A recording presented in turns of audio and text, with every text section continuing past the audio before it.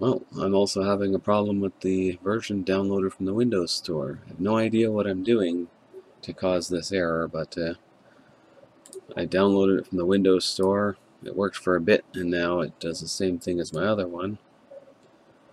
I've also figured out where the settings files are that get corrupted somehow.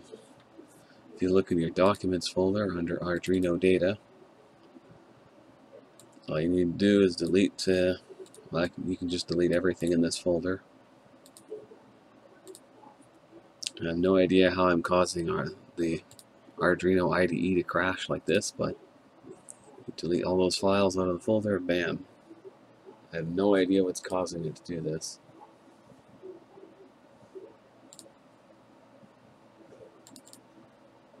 I don't know if it's using too long file names or what, but kind of driving me nuts that I have to keep deleting the configuration files. Weird. Anyway, hope this helps somebody else out. You can just look in your documents folder and the Arduino data. And clear out the Arduino data and then the Arduino IDE from the Windows Store will start again. No idea why it does this.